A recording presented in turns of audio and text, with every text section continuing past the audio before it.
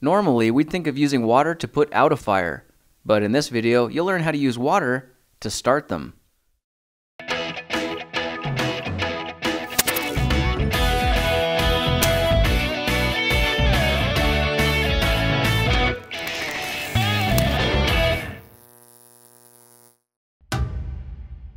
If you're ever lost in a survival situation, here's a little trick you're going to be so glad to know.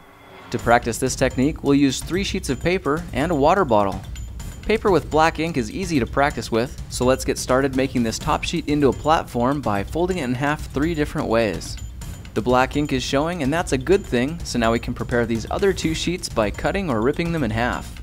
This gives us four pieces and we can fold each of them in half so that they're creased down the middle. Alright, time for the action. We'll need to remove the label from this little bottle and use the convex edge as a makeshift magnifying glass to focus the sunlight. It only takes a few seconds to get this paper smoking, and pretty soon, we've got it smoldering. When the hole is about the size of a quarter, we'll need to slowly add multiple layers of papers. Swinging it around gently will help the air get to the embers, and when they get hot enough, a flame appears. That's it in a nutshell, but in practice you'll probably find that it's not quite as easy as it looks. So here are a few tips and tricks to help you master your technique. First of all, use a bottle with clear plastic and remove the label. The top should be smooth and rounded so that it magnifies the image on the other side. I've been successful with colored bottles like this green 2 liter and this little blue 8 ounce bottle, but the color absorbs some of the sun's energy and makes it a lot more difficult to get a coal. The color of the liquid also needs to be as clear as possible, but in desperate situations, it is possible to light a fire with your pee. Look for how to do that in a different project.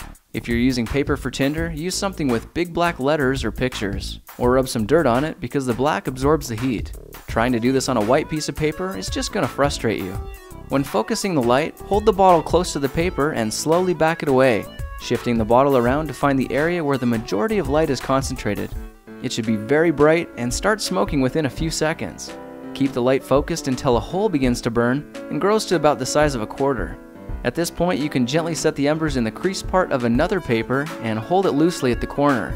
Tight enough so that the embers are in contact, but loose enough to allow plenty of air to flow.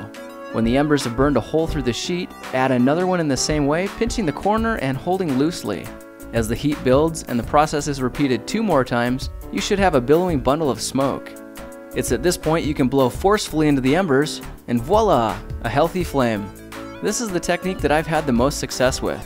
It should work for you, but might take a little practice. If you try this at home, you may be surprised to learn that you can rub the ashes into your lawn.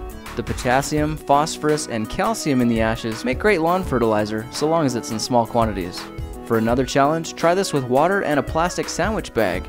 I found those can work as well. Well now you know how to start a fire with your water bottle.